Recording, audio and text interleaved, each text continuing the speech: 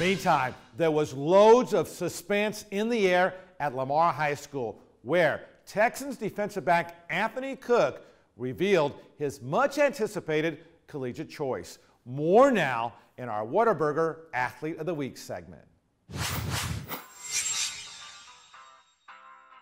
All eyes were on Lamar Texan Anthony Cook, including a national TV audience on ESPNU, as the four star defensive back, rated number four in the nation at his position, was set to announce his collegiate choice.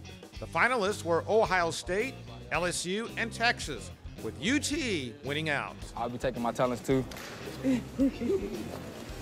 University of Texas.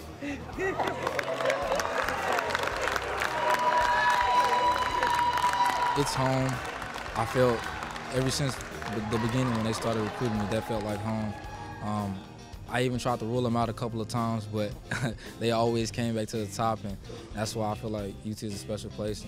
A special place as well for Anthony's Lamar teammates and now fellow UT signees in wide receiver Al'Vonte Woodard and another four-star defensive back, D'Shawn Jamison, both of whom ecstatic with Anthony's decision.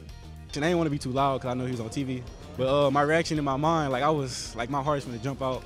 Like two two of my teammates I go with, I go against every day in practice. We get to uh, live our dream out of playing college football and going at it in practice every day. I kind of held it in because I didn't want to jump around and do all the other stuff. But you know, we got the number one class now, so hook 'em. Loads of hook'ems. Hook 'em hard. With several major prospects across Greater Houston signing with UT, as well as the state's top five prospects, Cook being one of them. It's some cooking at Austin, and uh, you know a lot of a lot of Houston guys they're realizing that there's something special gonna happen, and I feel like uh, in the next three years we'll be winning national championships up there, and we, we're gonna bring Texas back.